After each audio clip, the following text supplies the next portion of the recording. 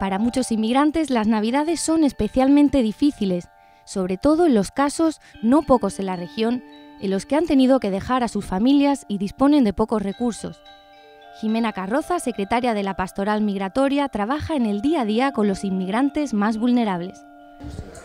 Sí, lo que pasa es que, bueno, la situación en Bolivia a veces es muy los sueldos son muy bajos, entonces vienen aquí porque tienen más oportunidades de trabajar, ¿no? Y entonces vienen a buscar trabajo solas muchas veces, sin su familia, dejando allá sus hogares.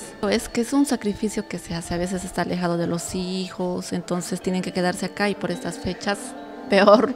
Entonces, muchas se quedan aquí a pasar Navidad y Año Nuevo por el tema de trabajo, otras por esas, por esas fechas de Navidad salen a Bolivia y vuelven a entrar.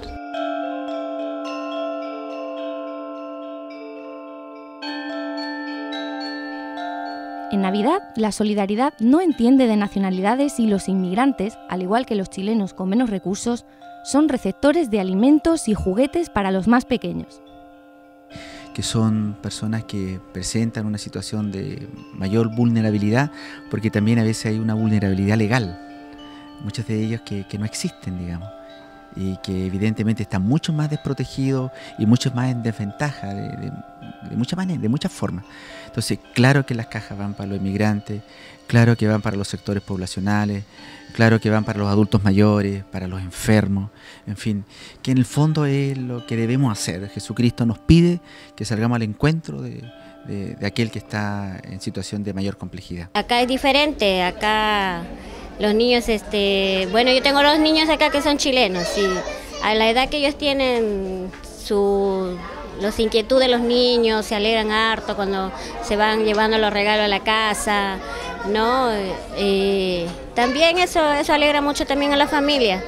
allá cada empresa o cada casa de repente te, les entregan a los niños, este, los niños de, de bajos recursos, de repente no hay eso, sino lo que son por ejemplo, no sé, de identidades privadas, dan a los preferencia a la pura familia de ellos, nomás a su entorno, pero a los niños pobres casi no. ¿ah? más ayuda? Acá, claro, aquí da más preferencia a los niños de bajo recursos, no, no importa si somos del extranjero, son chilenos. Pero por más austeras que sean las navidades, siempre habrá alguna manera de brindar por la llegada del nuevo año una fecha en la que las tradiciones religiosas conviven con todo tipo de costumbres y, por supuesto, mucha diversión.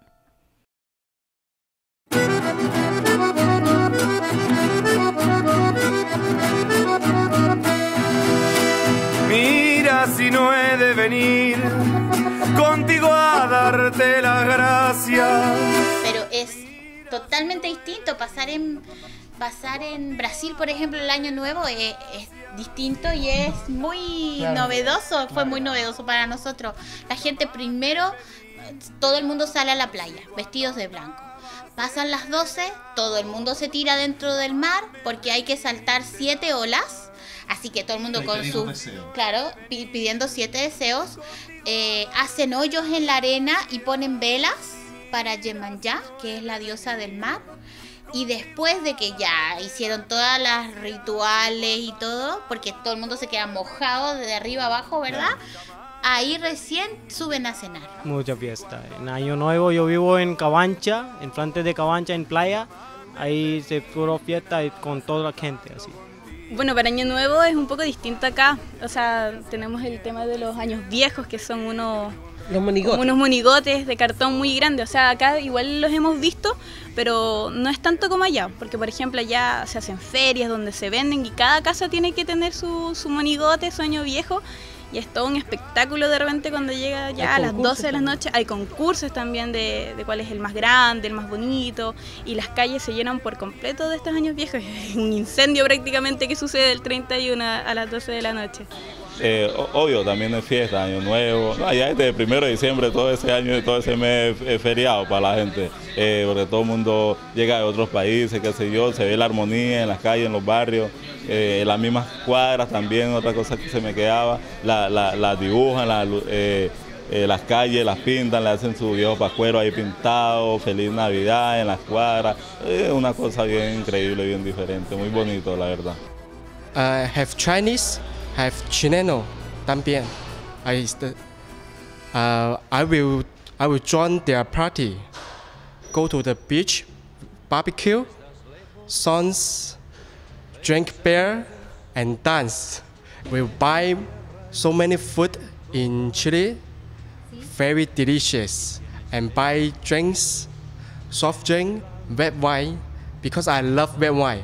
Red wine in Chile, very delicious. It's very delicious. I expect that day. Cada uno a su manera, los extranjeros buscarán estas Navidades el modo de disfrutar de las fiestas en su tierra de acogida. Nuestros mejores deseos para ellos y para sus anfitriones. Feliz Navidad para todos, que la pasen súper lindo. Feliz Navidad todo. Feliz, Feliz Navidad, para, todos. Ven a mi casa esta Navidad, por eso hay muchas cosas más. Ven a mi casa esta Navidad,